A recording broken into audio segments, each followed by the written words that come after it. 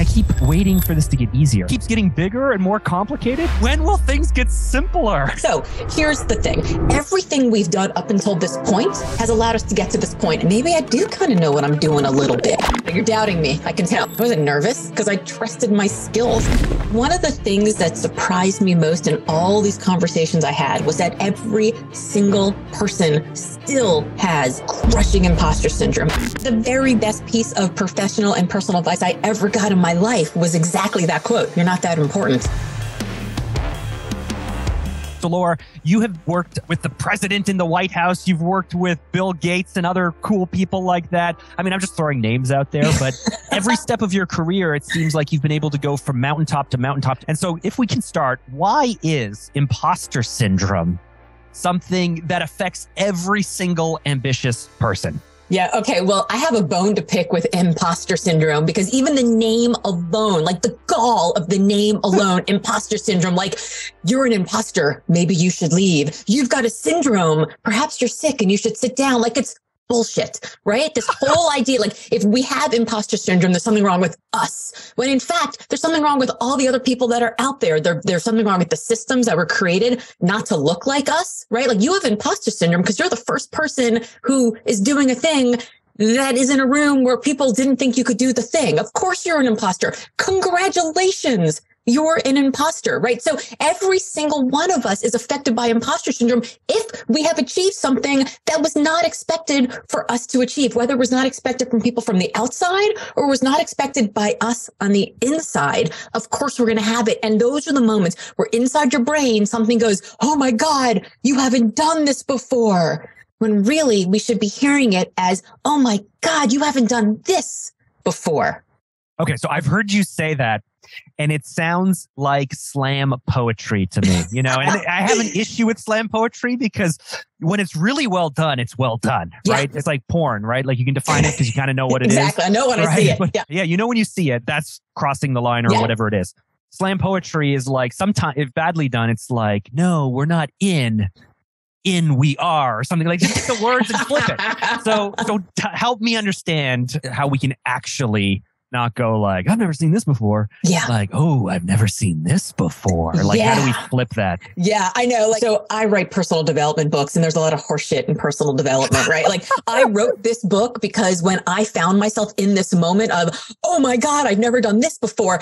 I read every book out there. I learned to 10X. I learned to lean yeah. in. I learned to stop yeah. apologizing. You like, like, you don't like Cardone because of 10X. You don't, I mean, you're not like, a huge fan of Hollis because you made a flight about washing your face. I see you. You know, I mean, look, I am an entrepreneur. I'm a serial entrepreneur. I've built things. I have been in the trenches. I understand like what people are going through. And I feel like a lot of people in my space are really interested in the slam poetry piece of it, but they don't get the content right. And they're like, how do I get the applause? And it's like, no, how do you get the content right? Because people are actually making decisions in their lives based on what you're saying. So like get the content right. So here's the thing. Everything we've done up until this point has allowed us to get to this point. And I am a firm believer that what got us here won't get us there, but at least it's enough to get us to this place here where we're standing on a very solid foundation of what we've actually experienced, what we actually know. Albert Einstein says that all knowledge is experience. And I really believe like if you haven't actually done something,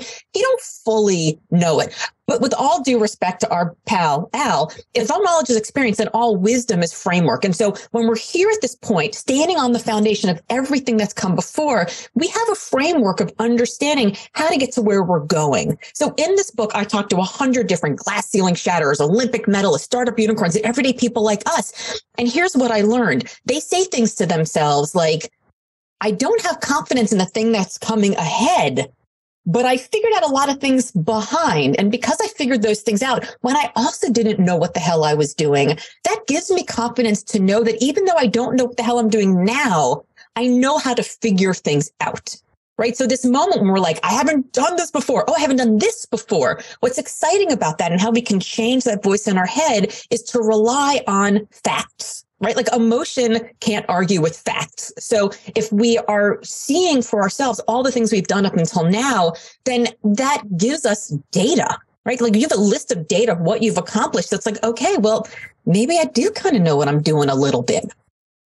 Hmm. I hear you. Like so last night, But for you're example, doubting. I can no, tell. no, no. It's not that I'm doubting you. It's just last night I was up in bed because I'm worried about a new product we're launching. We have a new offer. We have a new product. Through COVID, we shrunk our team down. We've made all of these changes, and so I contrast between morning Mark. I was telling my COO, like, like morning Mark is objective. Yeah. Full of potential. Everything is great. And it's like, I know we can do this. During COVID, I've spent way more time with my kids. Yeah. I'm a really kick ass dad right now. And when I lean into sales, I can grow business. And when I pour myself into my team, they feel seen and heard. And I'm a great husband when I'm doing that. Like, and I've realized like, oh man, I am objectively amazing at anything that I have a passion for and work hard on and spend time doing. Yes. Like it maybe doesn't happen as fast as I want, certainly doesn't happen the way that I want. But anything that I actually commit myself to, I knock out of the park. And yet, last night I'm up in bed going like, oh, I'm just a little bit worried about, you know, should I do a shareholder loan into this thing? And what should I do? And what if there's not enough time? And what if I get too busy? And what if I get there and I don't like it? And what if I run out of energy? And what if there's just, I can't find the people? And what if I put my name on the line and then suddenly, you know, I'm standing in front of people and I fail in front of them? Like just all the stuff that happens all Yes. the time. And I've been an entrepreneur for 16 years. Yes. So I hear you. I just don't know how to stop it. And maybe the answer is you can't, or I don't know. I don't think you can. So one of the things that surprised me most in all these conversations I had was that every single person I talked to, every single one at every age and at every stage still has crushing imposter syndrome and doubt Mm. and uncertainty and insecurity and fear and anxiety and all of these things. But if the only way not to have that is if you just do the thing that you just have already done.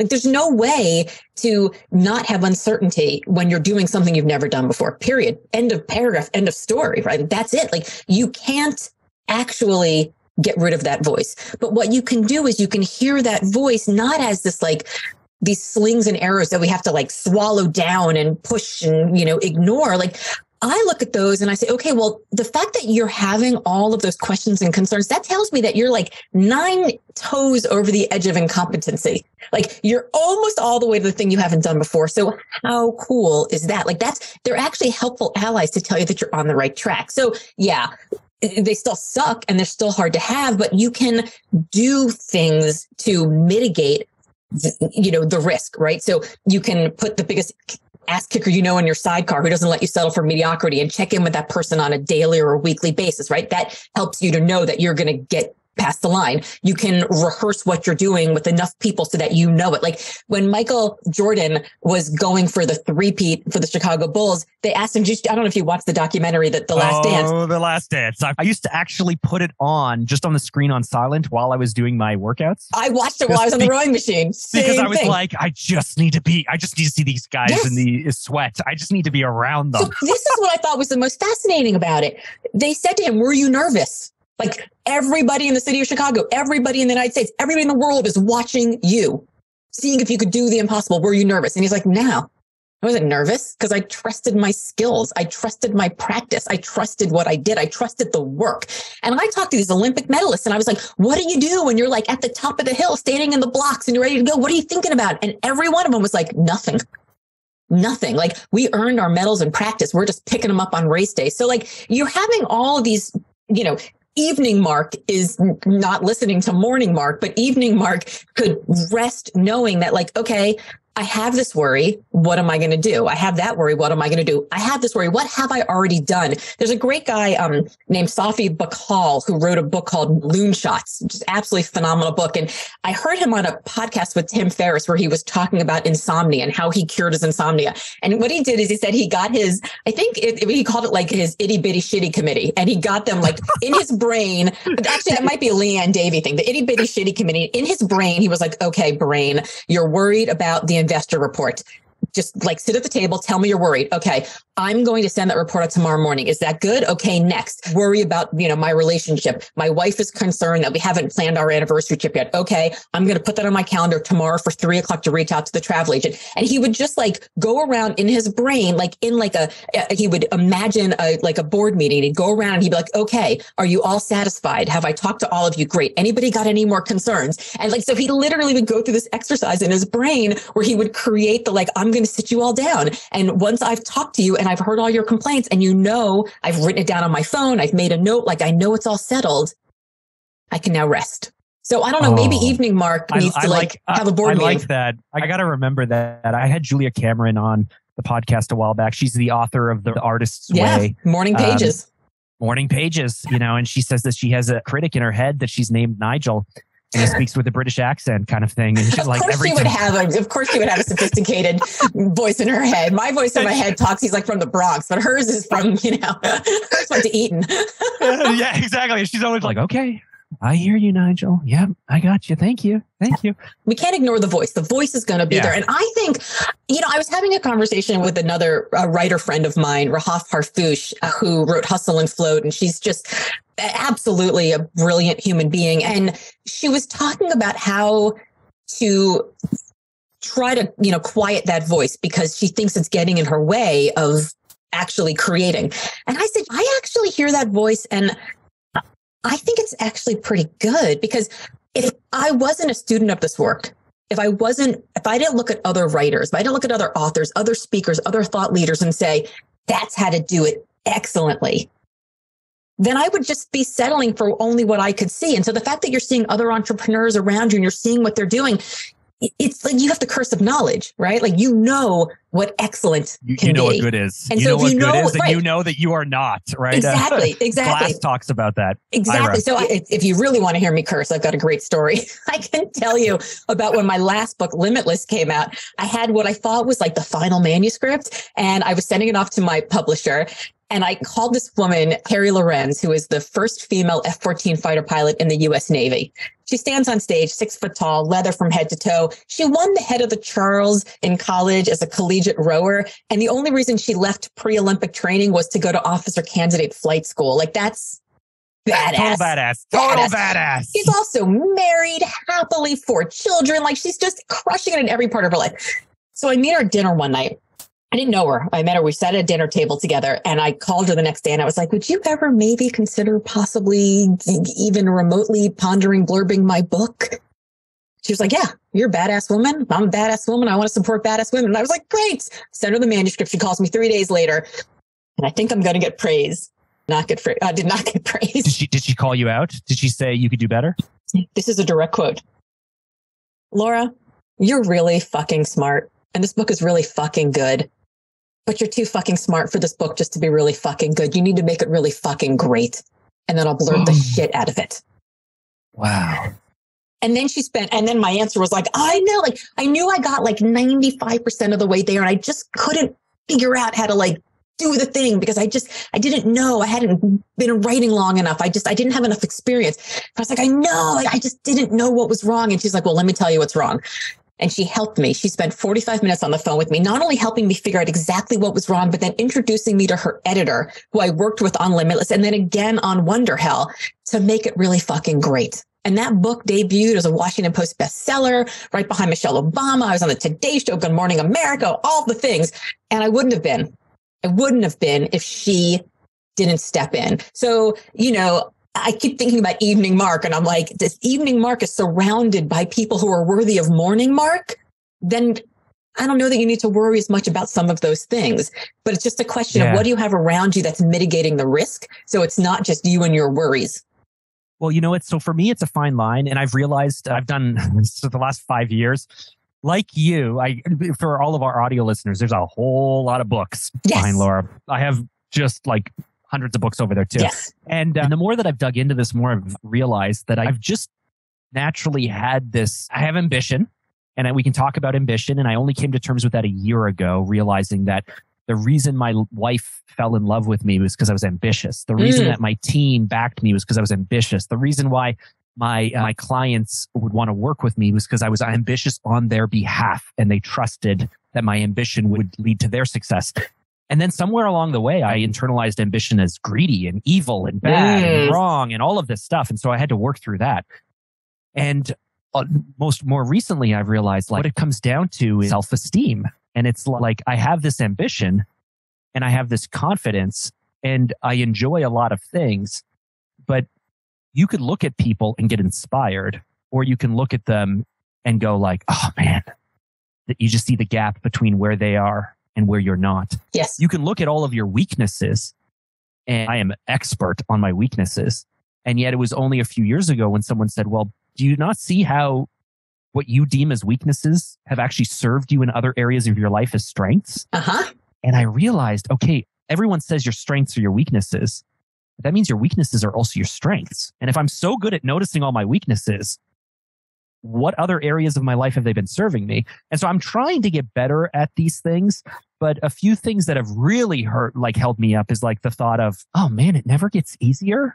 I'm just like, I keep waiting for this to get easier. This, you know, no one is going to figure this out for me. Oh man, I, I'm just so tired of it always being on my shoulders all the time. Yeah, it just keeps getting bigger and more complicated. When will things get simpler? Yeah. And so that's the okay. nighttime mark. yeah. I mean, you know, that was the big moment for me writing Wonderhell because, you know, so the book debuts, right? I have all this great, I thought three people Yeah. would buy my last book, literally. Like my mother, my father, Now, and I actually have to say, sorry to interrupt your story. I saw you speak live in Inbound 2019, right before COVID. oh, I was terrible. You spoke. I was Do you think terrible so? there. I just sprained my ankle. I was giving this talk about this, you know, like it was just a really dry, horrible talk. Oh God, I'm sorry. I remember the energy in the room being like it was like day three. It was day three. It was morning time. And I didn't, I thought an earthquake was happening, but that's only because we were in a convention center yes. where if trucks went by, the whole ground would shake. And I remember going onto Twitter. I remember going onto Twitter during your keynote and being like, is there an earthquake happening right now in Boston? Because Laura is definitely not shaking the room. This is definitely not. no, but I remembered your speech and I followed you online and I think we DM'd each other a little bit and I've just I've been following you for years now. So I do have to say, like, you know, you're about to get into the, the breaking point maybe, but uh, for all of our listeners, like as far as book launches go, as far as people who want to be an author, who want to be a speaker, who want to travel the world, who want to be on the stages, you are on every stage. You put in the time. I put in the time. Yeah. Yeah. And you don't get paid for inbound either, but it's down the street for me. So I was like, all right, I might as well give this a shot. And so the inbound is actually kind of a funny story because when Limitless came out, I put out this assessment online, Limitless Assessment, right? LimitlessAssessment.com. And it had like 67 questions. And by the way, nobody's going to take a 67 question assessment. I learned that the hard way. I was like, it's everybody's favorite topic of conversation themselves. Of course, they're going to want to figure this out. No. So in Limitless, I talk about the four things people need in order to find both happiness, you know, success and happiness. I should have had four questions, one around each of the four things, but no, I'm a big Everybody's nerd. too busy trying to figure out which Harry Potter house they're in. Totally. So I was like, all right, fine. So now there's like a four question quiz that people can take. But I put this assessment out and and then I did Good Morning America, I did all this crazy TV. And I went and I looked at the assessment and there were like, I don't know, 400 responses, 400. And I was like, all right, well, that stinks. 25,000 people started it. 400 finished it. That tells you just how, you know, tired and busy and lazy people are. However, when I was toying with this idea of like, how do I do a talk around the limitless leader? Like, how do we take the things that keep us both successful and happy and then apply it to our people? Because I spent 20 years in executive search. My job was to call the most successful people in the world and recruit them away. And despite all this success, they weren't very happy. So they called me back. So I was like, well, leaders can figure out how to do this with their people. So I didn't really do much with it. I figured I was like trying this thing out. I wasn't really energized about the talk. It wasn't really a very good talk. I had sprained my ankle, as I mentioned the day before. I left there. I texted a friend and I'm like, well, definitely not going to write The Limitless Leader as my next book because I don't know who was more bored about that talk, me or my people in my audience. So it wasn't great Well, I was there. It wasn't great. I mean, I'm glad that you, you know, like uh, liked it enough to follow me and invite me onto your show because whew, now I get on stage and I'm like moxie driven and I'm just like cocktail party Laura. But that was like business school Laura and it was definitely not my jam. But I will say, coming out of the pandemic, I heard this blowhard dude, thought leader, biz coach type talking about what's driving the great resignation. And he was like, well, we just need to, leaders need to pay their people more. And I was like, well, yeah, if you're not paying a living wage, but that doesn't comport with 20 years of executive search. And what I saw were the things that actually compelled people to talk to me and want to leave a job. I was like, I, wonder, I just wish there was data around this. I had 20 years of anecdotal information. I wish there was data. And I was like, huh, wonder if anyone ever took that assessment. And so I went and I opened the assessment back up and there were 6,000 responses from 74 oh. different countries from January 2019 all the way to present. So before, during, and after the pandemic. And I'm like, there is probably not another body of research like this. So then I spent nine months teaching myself how to do pivot tables in Excel. Oh, you should have called Jonah Berger up. You should have just been like, dude. I probably should have called him. I could, should have called uh, Jason. I there, just so many people that I could have called. But no, I went to computer sleepaway camp when I was 13 years old and I was like, I can do this yeah, narrator, she is, could not do this. it was very hard, but I figured it out. I ended up writing an HBR article about it. And then I just ignored it again because uh, it's interesting to me what's driving the great resignation. What's more interesting to me is the fact that internal candidates, when they apply for a job and they interview for the job, always end up leaving because it's that moment of potential that they see, right? They're like, interviewing for the job means that they have to wear the clothes of that role and answer questions in that role and, and speak in the voice of that role. And all of us when we see that potential future us, just we can't unsee it. And I'm more fascinated by how we can achieve and unlock what's inside of us than how like leaders can help like keep their people happy. Yeah. There's yeah. a much better business argument to do the limitless leader. I could probably get paid a bajillion dollars to like give it to like Verizon and be like, take have your 65,000 people take it. And in five minutes, I'll tell you exactly which manager sucks. The people who will budget that want that kind of information. So yeah, that's true sometimes in corporations, you know, I remember hearing this a long time ago, right? That, that all facts, all truth is good. You know, like it's just none of it is bad, none of it is evil, none yeah. of it you should, but some people aren't comfortable facing that.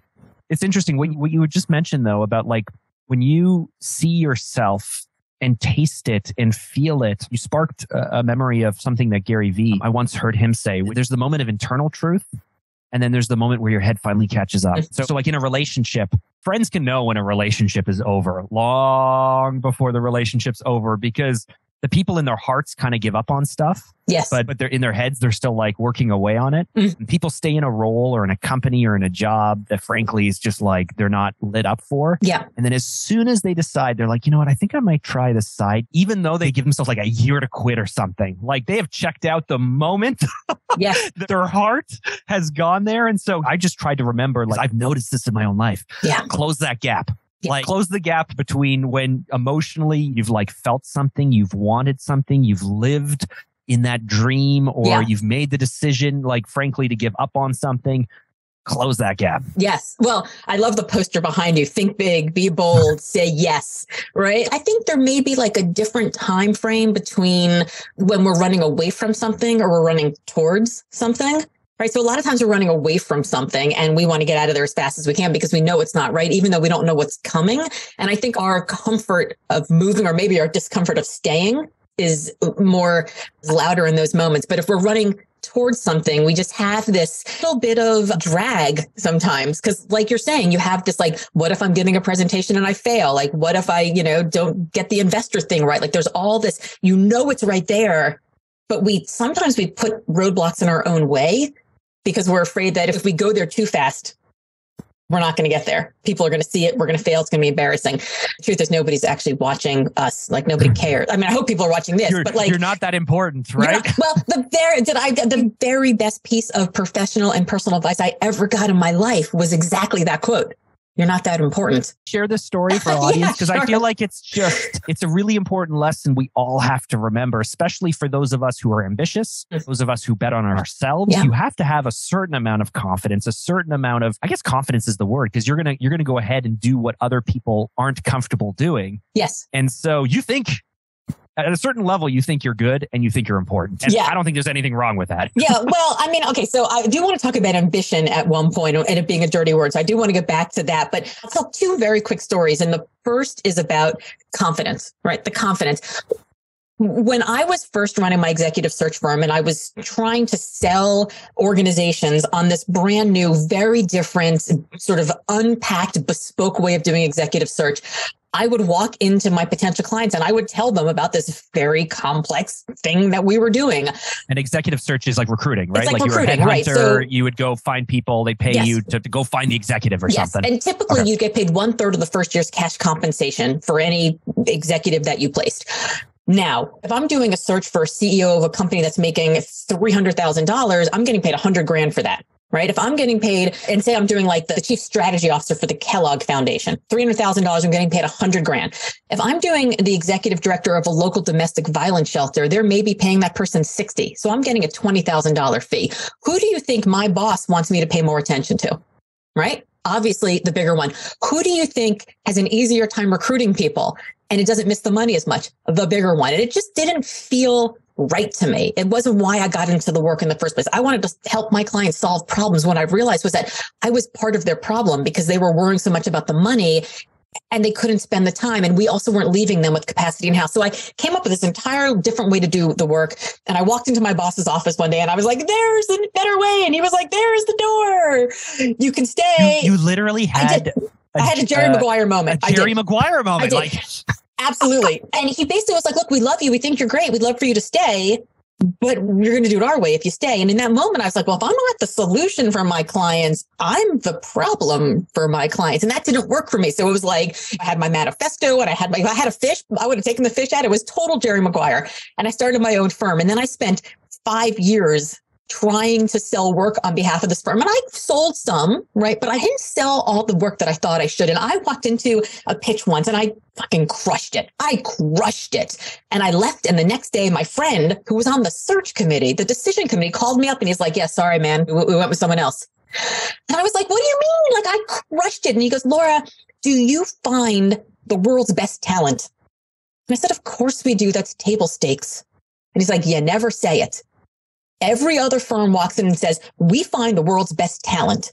Now let us tell you how.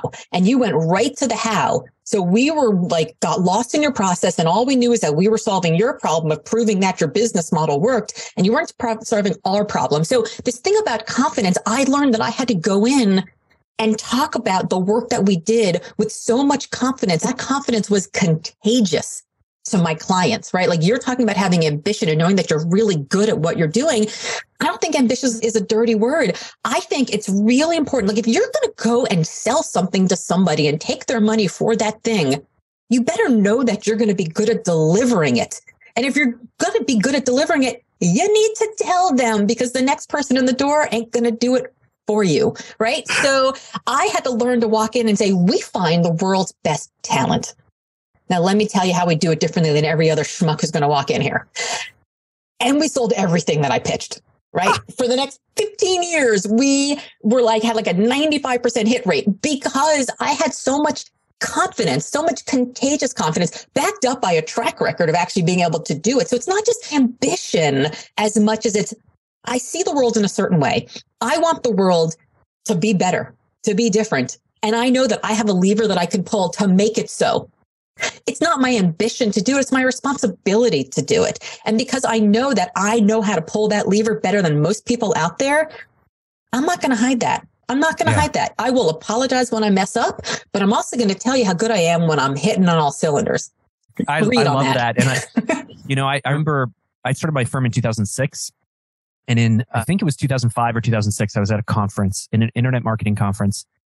And I remember Max Callis, who later became a friend. I ended up starting my company, subletting off of his office and all this stuff. But before I even met him, he was speaking on stage. Was he better than me at Inbound? I hope. no, but I just, I remember this story. He said that he was at a networking event. Now, this is very old. Maybe it's old school. Maybe people still do this. It was like at a BNI event or something, like a networking event, a chamber event. And there was one of his competitors there, and he's in internet marketing. So I guess what are they talking about? You know, at the time, SEO, Mhm. PPC, websites, landing pages.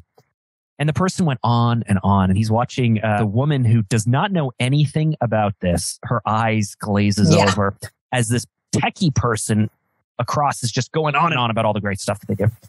And at the end, she just goes, "I just want a pretty website." exactly. And then and then the person got dejected and walked away. And Max was watching the whole time. He just took out his card. He just said, "Just so you know, we make pretty websites. Here you go."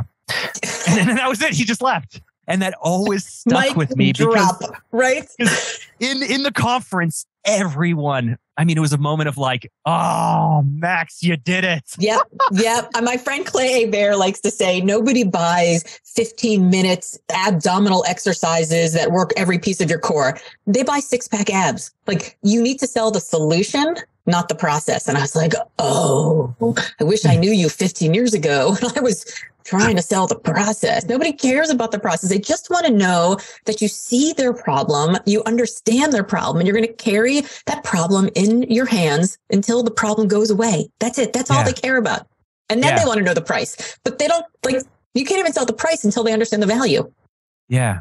I want to talk a little bit about uh, Wonderhell, but before yeah. we do, you said that there were a few things you wanted to circle around on. If I mean, you just mentioned ambition, yeah. but can we talk about ambition because it might be cultural? I think it especially affects women, the women in my life, the women that I've had on the podcast that I've spoken to. But if you're of a religious upbringing, if you have any kind of modesty, if you have like, I didn't even realize that it, my German upbringing Germans, I guess, don't like they want to be the smartest, but you can't appear to be the smartest. Yes. You want to have wealth, but you can't appear to flaunt wealth. Yes. You want to succeed, but you can't be appear to be trying, right? It's just not and I didn't even realize that this very German upbringing instilled in me this like, I want to be the best oh, but I can't be seen being the best or even try to be the best. So it's like ambition is this thing that I don't know if we talk about. Yeah. And I think that ambition has just gotten this really bad rap, right? Like, oh, she's so ambitious. Like, nobody says, oh, he's so ambitious. Like, he's a go getter, right? Like, buy the steak, Mr. Big. Great. Like, with the women, it's like, maybe don't get the latte and the avocado toast. And even if you think about how we talk to women about money, about investing, like men should make big plays and women should clip coupons, right? It's just the way that we even just think about it and how we're trained from a very early age is very much like don't upset the apple cart and don't, you know, make anybody crazy. And it's good to be nice. I think being nice is bullshit. Like we should be nice to each other. We should be friendly. We should be warm. But there's this, this, this idea that you know as as long as you're not hurting anybody and getting in anybody's way like it's okay if you want big things. And i think we're hurting more people and getting in more people's way by not bringing our gifts into the world in a way that we can really serve other people. I mean seth godin says like if you have a gift if you have a thing and you're not putting it out into the world you're actually stealing from people. Like you're stealing from them. And i'm like yeah that's actually pretty true. But I don't think ambition is bad because here's the thing. If you had more money, more time, more leverage, more resources, more power, more network, more whatever, wouldn't you be able to show up more for the people you loved and the causes you hold dear and the company you're trying to build? Absolutely you would. So it's not your ambition. It's, it is your responsibility. It's your responsibility to those people, to the company. I mean, you being ambitious. I don't know that your wife fell in love with you because you were ambitious. I don't know that your investors invested because you're ambitious. They invested in you because you had contagious confidence about the thing you wanted to build. They invested with you because you saw a world in a way where things could be different and understood your lever to do that. And you had confidence in that lever, right? I don't know that it's ambition, right? It's not maybe they fell in love with you and wanted to invest in you because you were hungry and they could see that you're willing to do the work. But it was the contagious confidence that made them say, yeah, I'm going to get in the car and ride with him. Right. Like mm. it's not just the ambition. And I, I definitely have seen this over the course of probably now 30 years of giving people like career coaching advice. There are people who come to me all the time, but they're like big, hairy, you know, audacious goals. And they tell me about all the stuff they're going to do. And I'm like, uh huh. Like, they're not going to do any of that shit. And then somebody comes to me and they tell me about a dream that they have, a goal that is so big and so scary and so venerated in their own hearts that they barely whisper it when they talk about it. And you can see the twinkle in their eye and you're like, you know that it is inside of them in this way that they cannot get rid of it. And they will need to get up in the morning, in the dark, do the work that nobody sees in order to make it happen. Those are the ones that I know. They may be completely clueless about to get from A to Z. They may be completely clueless about to get from A to B, but I know that they're willing to do it. And so I would probably say that it wasn't the ambition. It's that it's the hunger, and the desire, the confidence that you have in it to do it. That probably was the thing. And I think we should all be ambitious. I think we should absolutely be ambitious because why not? Like, what's the alternative? Like, what's the opposite of ambitious? Mediocrity. Like nobody lights a light and then puts a bushel over it. You know, we, I don't know. There's some Bible verse about that, but like light your light, basically, let it shine. Yeah, right? yeah. But so here's the other side. So you wanted me to tell the story about the, the you're not that important, and this is a good. Yeah. Oh yeah, yeah. This is a good opposite to it. So I was super ambitious, super ambitious about everything in my life, like my kids, my family, my community, all the things. And then I sat down with this woman who she's this older woman. She's from, you know, Queens and she had just sold her company for like $60 million. And this was like 25 years ago. So, you know, it was a lot of money back then. Still a lot of money, but it was a lot of money back then. And I was telling her about like, you know, it's just so hard. And I don't really know. And she's like, I don't understand. You've got a happy marriage, healthy kids, your business is thriving. What's the problem? And I was like, I don't know. I just yell at my kids too much. And she's like, well, tell me about a typical day. So I was like, well, I get up in the morning and I work out and I like get my body in shape and I never take my kids to school because that's like garbage time. They're like in a rush and they're cranky and they're like shoving food in their face. It's garbage time. So we have a nanny. The nanny takes the kids to school. Great. I come home. I do all my work for my clients. I with all of my people. I deal with my with management and financials and marketing, all the stuff I have to do. And then I pick up my kids because like that's really good time, like windshield time. And I try to do it like three days a week if I can, four if I'm lucky, but never five. Because like a cameo appearance is always more valued than a starring role, right? So like I'm picking up my kids, and then we go to the then we go to the uh, to the park, and I hold up my phone, which I think was like a Palm Treo at the time, and I'm like, but then it's amazing because the value of technology, like I can be with my clients, but I, even though I'm at the park, and it's great. And then we go home and I like, you know, put them, you know, they, they do their homework and then, you know, I go back to work and then we make dinner and she was just like, wait, wait, when do you relax? When do they relax? Like, when do they watch TV? When do you like go for ice cream? And I was like, ice cream, ice cream with sugar. It's terrible. And TV, oh, that rots their brain. Meanwhile, I find out later that like her daughter is the head of children's programming at like Sesame Street or something. So like, okay, Laura, do your homework when you're asking for a mentoring conversation, lesson learned. And she looks at me and she's like, okay, you're not that important.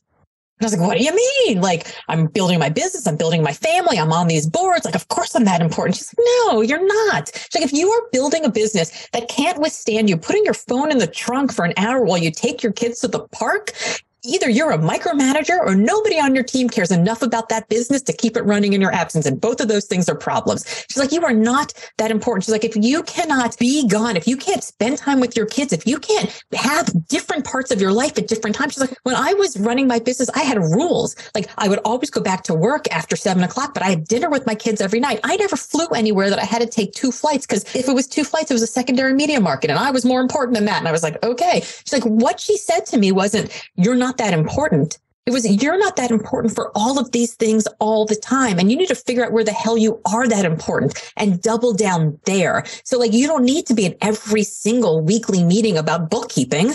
You need to take your kids for ice cream once a week and just look at them and be present without a screen in between you. And that fundamentally changed the way that I showed up in my life, in my work, in my marriage, and in my community. That is like such a great lesson for us all. But actually, what I'm most struck by is this is now in, in the conversation we've had in the last 45 minutes, the second woman who is basically bitch slapped you into like waking up. Like, yeah, is this I a get my common ass thing? kicked by a lot of women.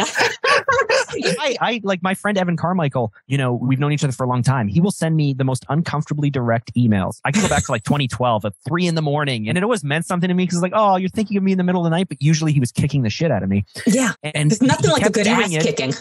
but he kept doing it because I kept getting up. Yeah. And the I realized there was a moment where I kind of gave up so much that he just like kind of stopped. He's like, well, okay.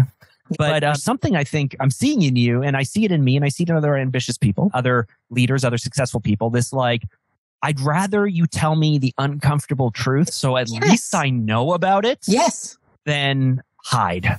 Well, here's the thing. Like, if you're just fucking up left and right and nobody's telling you, it's not that people aren't noticing and talking about it. They're just not telling you. So it's already being discussed. I'd rather hear it. It's good to know about Evan because I think I'm doing an Instagram live with him like during launch week or something. So I, Okay, that's good to know. But you know, I shot his first YouTube video. Oh wow, amazing, amazing. So here's the thing, like I would be more worried about when somebody who is invested in me goes silent, right? Like when somebody just becomes disinterested.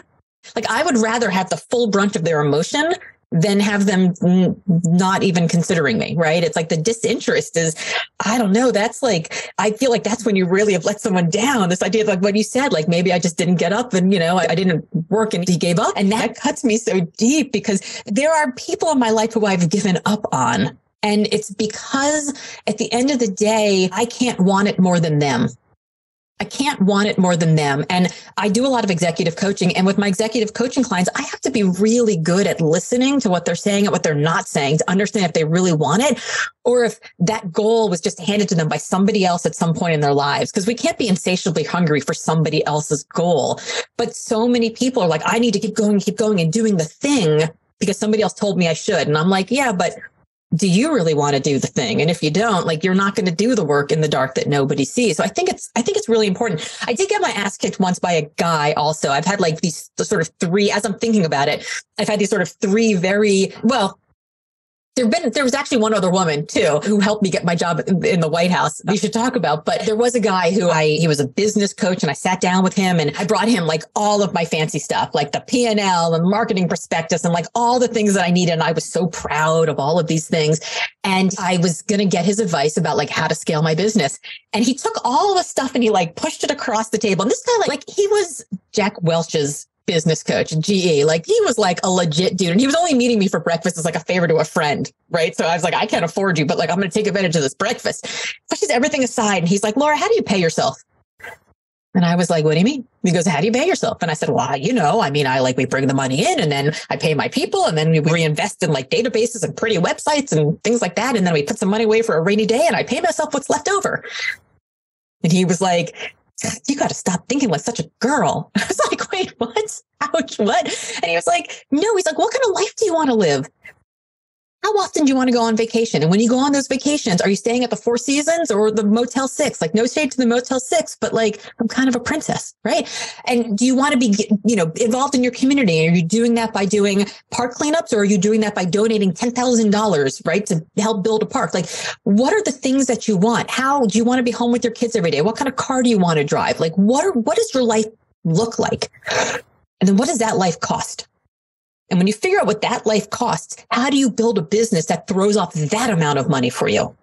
And that was like 180 degrees difference from the way that I was thinking about being an entrepreneur. I was thinking about being an entrepreneur as you do something good.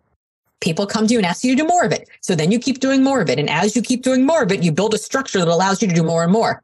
Until one day I was like, wait, I don't want to do more of it. I don't want to necessarily maximize profits right now while my kids are little i want to maximize impact in the world and personal freedom and flexibility that i have to be with my family. And as that grows i can decide to maximize profit later. And by the way it turns out i learned that if you maximize two of the three profits personal flexibility or impact the third always comes. But you just have to decide which two of the three that you want to bet on for, you know, a period of time. And to be able to do something where I was like, oh, okay, I can now make business decisions based on we're not chasing money. I'm not going to say, I'm going to go do this work for this client that I hate because success in that means just more clients like that I hate, right? I can make decisions to do things differently based on what it is that I personally want. So, how do you give people permission to be that honest and direct with you? Well, I call people on their bullshit a lot. I'm really good at figuring out when somebody's lying. I spent, as I mentioned, 20 years interviewing people. So you get pretty good at like seeing the body language, hearing what they say, the change in their voice, the change in where they're looking, you know, on a screen or a conversation. And I call people on their bullshit, but mostly I just keep asking them questions. Like, and what will that lead to? And why do you want that? And what does that look like if you get it? And you, how do you define success? And how does that get you closer to it? And if you keep prying and peeling away, scratching, right, at that thing, you can tell that they've either not thought about it, which means that that's not really internalized, or they kind of lose steam on it, or they start telling you other things that are interesting. And you sort of go, well, how do we get closer to that? And so I think if you just keep asking questions, people eventually run out of answers. On the coaching side, but I'm curious how the leader who has to be confident, who has to show up, who shows up with all of the, you know, your documents ready, like we have this really weird thing where like we're told to be vulnerable and I'm totally comfortable being vulnerable. I answer, I mean, it, it, gets me in a lot of trouble. I answer any question people will throw at me. Yes. And so I don't mind doing that, but I also know that I have to hold this confidence and I have to hold this vision and I have to like, so you're going to walk into a situation where often we're so guarded and we're wearing our hero suit that either we just intimidate or impress people and they think we got it figured out when we don't. So how do we break that barrier to like it, these women, these men who have like talked honestly with you? What have you been able to do to get in that situation where these powerful people have been able to give you this very direct, honest feedback? How are you showing up? What are you doing? How are you getting? Oh, on when I'm on the other side in order to get it. I think there's a lot of power in just asking questions and saying that you don't know. I walked into that first meeting with that business coach like I was walking in to impress him. I was absolutely walking to impress him. And when he slid everything across the table and was just like, yeah, no, I had two choices. I could either argue back and continue to try to impress him, or I could understand that my role in that moment was not to be the teacher, but to be the student. And my response was, like, you know, stop paying yourself up thinking like such a girl. And I was, I just looked at him I was like, okay, well, how would, how should I be thinking? And then I just let him tell me. I mean, people who want to give you advice, they often want to tell you the thing they want to tell you, sometimes more than you actually need to hear it. Right. A lot of people, Michael Bungay Stanier has this thing, the advice monster, where he like people rush right into telling you what you should know. Sometimes it's what you should know and sometimes it's not. So asking a lot of questions of them and helping get them to like, well, if you were in this situation and being vulnerable, I know that in those moments, the people who are there to tell me all the stories about the mistakes that they made and the successes that they've had. And if I can take those, I learn a lot in those moments. And sometimes I learn a lot in those moments that I don't even realize I learned until 10 years later when something presents itself to me. And then I'm like, ah. oh, that's what he was talking about back then. Right. Like I get it. Like that same business coach, I remember talking to him saying like, we brought all of our people together. Our business was completely virtual. We founded it in 2002. So it was like virtual before it was COVID cool. And we'd bring everybody together for a retreat. And I remember calling him one day. I was driving home from the retreat and I was like, that sucked so bad. That sucked so bad. I got in and I gave my state of the union and I told everybody where we were going and what we were doing. And they were like, again, eyes glazed over. And he was like, yeah, because they don't care. He told them all the things that were exciting to you they don't care. You were talking about how the business was going to grow and how you were going to start to launch these new service offerings. And all they were thinking was, how's this going to affect my job? How's this going to affect my paycheck? And I could have in that moment said, like, no, no, the stuff I was telling was super exciting. Or I could have just stopped and been like, oh, okay, that's interesting. And years later now, when I do executive coaching and I talk to these CEOs, they say the same thing to me. And I'm like, oh, that's what he was saying. I got it.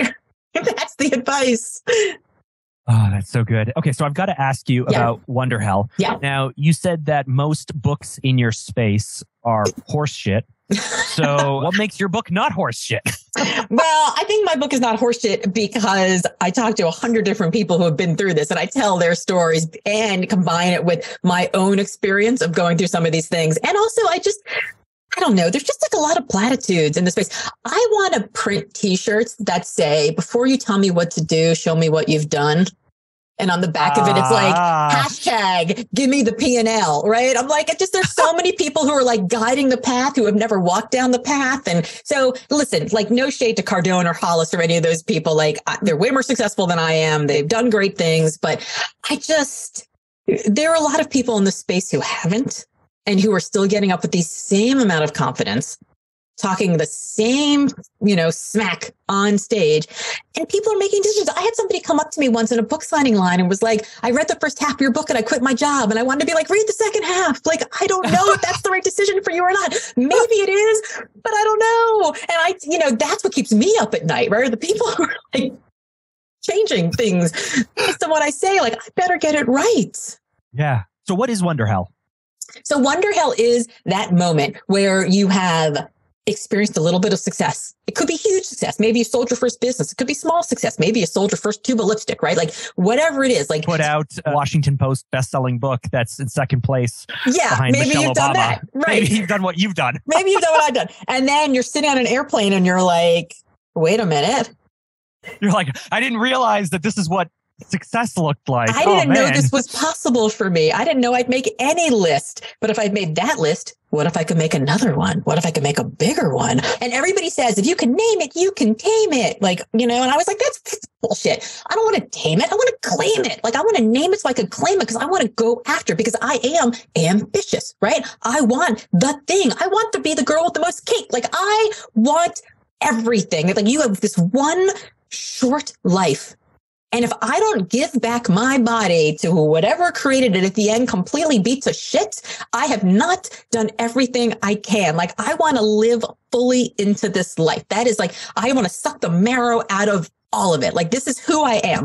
And so I'm sitting on that airplane and I'm like, you know, squashed in between these two guys who are snoring on my shoulders. And I'm like, I was on the way back from Vancouver, heading back home on this red eye. And I was like, I'm 1200 miles from where I've been and 1200 miles from where I'm going. And between the blur that was yesterday and the blur that will be tomorrow is the space I'm in right now. And the space I'm in right now is wonder hell. It's that moment where the burden of your potential walks in and is like, Hey, Mark, what you got for me? Are you going to live into this newfound you? You didn't even know you had this potential yesterday and suddenly you see it and you have a choice. It is amazing. It's exciting. It's humbling. It's wonderful to have succeeded in some way. And now the burden of potential hands you anxiety and stress and uncertainty. It's kind of hell. It's wonderful and it's hell. It's wonder hell. But wonder hell is only available to people who can actually achieve it. Because if you didn't see that you did a thing that was good and it actually could be great, you wouldn't go after it. You wouldn't want it. And so you wouldn't know that there was a pathway and habits to form and steps to take in order to get there. So the bad news about Wonder Hell is that we're all in it all the time because every one of us is standing in between yesterday and tomorrow. The good news is you wouldn't even see Wonder Hell if you weren't worthy of your Wonder Hell. And so before we hit record, I was like, I think I might challenge you a little bit and stuff. So, you know, your book is upcoming. Yes. And it may answer this question, but working through your keynote, your TEDx keynote that has like over a million views and stuff, which, which is like, which is great. I was left going like, I feel like you haven't given me the answer, right? Like you've, we've identified that when we have this, I love the term, the burden of potential, because I've always said that, you know, that your call, your passion, your purpose, your calling, your desire demands something of you. Like it Yes. demands of you to get out of your comfort zone, to grow, to push yourself. Like, like you just, it requires it of you. But, you know, so I'm totally on board with this idea that we're wonderstruck people who have to balance just the demand and how hellish Yes. the requirements are of us. But what is the answer? Is it just like, like earlier when I said, like, I keep waiting for it to get easier? And the answer is like, it never gets easier. I keep waiting for someone to do it. No one's going to do it. I Right. keep waiting for it, success to get simpler. It never does. Like, is the answer just like, oh, by the way, like, this is awesome. And it's always going to be a bit hellish. It's always going to be a little bit of wonderlust. It's always going to be a little exciting. There's always going to be a little change. Like, let's stop wasting time thinking about it and over analyzing it. Yes. And what should I do and all this stuff and just Yes. go like, hey, by the way, this is what living is. You're doing it right now. yeah, Let's go. yeah. I mean, I'm happy this is sort of the last question here because I think it's a really important one, which is that on the other side of this wonder hell is just the next one and the next one and the next one. So like there is no getting out of it. There's just getting comfortable in it. And so the book is organized in these sort of organized around this idea of this amusement park. And there's three parts. There's Imposter Town, there's Doubtsville and Burnout City. And then each one of the parts actually has five rides those 15 rides represent the crazy tsunami of emotions that come at us. So it is really organized as a book for somebody to come in and be like, oh, the bumper cars. I need to quiet my perfectionist tendencies. The roller coaster. I need to deal with when everything is uncertain. The merry-go-round. Maybe I want to say no to hustle porn and quiet things down now. So each of the chapters is a ride that tells stories of people who have been in those moments. And then there are actual, you know, things that we can do, tips and tricks and, and strategies to put into place to deal with that thing that's happening in your life right now. Um, I can't wait to get into it. So the book is coming out spring 2023. If you're listening to this or watching this after uh, April 2023, then you should order it and you can pre-order it now. Laura Gassner Otting, where should people connect with you? Yes. So my name is Laura Gassner Otting. All my good friends call me LGO. So you can find me on all the socials at Hey LGO, H U I L G O, and wonderhell.com is a great place to find out more about the book.